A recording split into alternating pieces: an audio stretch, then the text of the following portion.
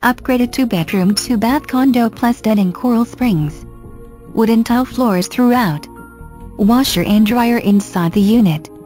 Easy to show. Click Show Assist for instruction.